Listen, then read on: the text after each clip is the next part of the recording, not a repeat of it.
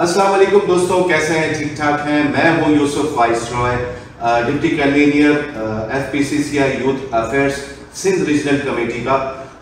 हमने एक वीडियो तैयार की है जो अनएम्प्लॉयमेंट और जॉबलेस लोगों के लिए है। क्या मसाइल पेश आते हैं एक यूथ को एजुकेशन लेने के बाद और जॉब के लिए? वो हमने इस वीडियो में तैयार किया है। तो आप वीडियो को देखें, लाइक करें और कमेंट ज़रूर करें ताकि इससे हमें इसलाह हो सके। आइए वीडियो की तरफ़ चलें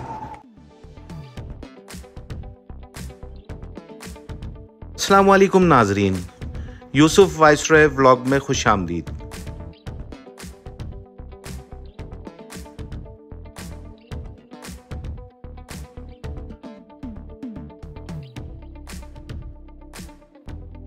आदाद शुमार के मुताबिक, पाकिस्तान में एक सौ अट्ठासी तालीमी इदारे हायर एजुकेशन ऑफ़ पाकिस्तान से मंजूर शुदा हैं।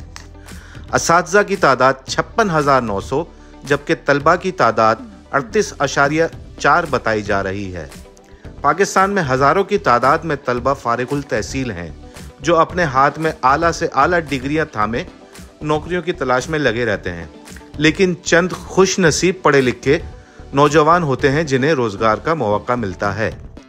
अलमिया ये है कि डिग्री किसी और शोबे की होती है, जबकि नौकरी किसी और शोबे में मिलती है। हमारे यहाँ सियासी सफारशी कल्चर बिगाड़ का सबब बन रहा है, जिससे हकदारों का हक मारा जाता है।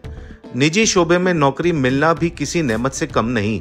ये एक हकीकत है कि हमारे मुल्क में एमबीए और इंजीनियरिंग जैसी डिग्रियाँ रखने वाले नौजवान, अब चपरासी, नायब, कासिद और माली जैसी नौकरियाँ करने पर मजबूर हैं।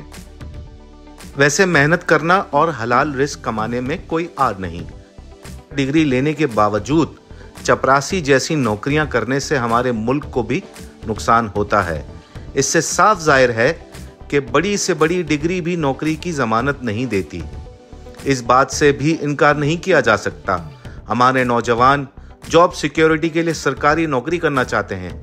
ये भी सच है कि जिस हिसाब से हमारे नौजवान ग्रेजुएट हो रहे हैं, इस हिसाब से नौकरियाँ कम होती जा रही हैं। ज़्यादातर डिग्री होल्डर जिनका ताल्लुक गरीब घराने से होता है, ना जिनके पास कोई सफारिश होती है और न ही सरमाया होता है। यूँ तो पाकिस्तान में जितनी भी हुकूमतें आईं, उन्होंने एक ही नारा लगाया कि इकतदार में आएँगे तो हम रोज़गार के मौाक़े मुहैया करेंगे। जैसे ही कोई भी सियासी जमात बरसर इकतदार आ जाती है तो फिर पूरे पाँच साल मेरिट का ढिंडोरा पीटना शुरू कर देती है। नौकरी फिर भी पढ़े लिखे नौजवान को नहीं मिलती।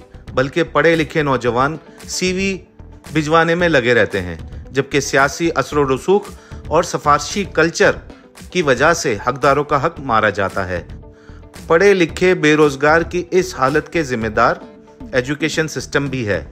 जो तालब इम को डिग्री तो दे देते हैं, लेकिन इतनी काबिलियत नहीं कि वो रोज़गार हासिल कर सकें। इस मसले का हल करने के लिए हर हुकूमत की ज़िम्मेदारी है कि वो मुल्क में ज़्यादा से ज़्यादा रोज़गार के मौाक़े फराहम करें। प्राइवेट सेक्टर को भी अपना किरदार अदा करना होगा और हमारी यूथ को तालीम के साथ साथ टेक्निकल कारोबार और दीगर अपॉर्चुनिटीज़ को भी नज़र में रखना चाहिए, क्योंकि सीखने का अमल ज़िंदगी के साथ चलता है।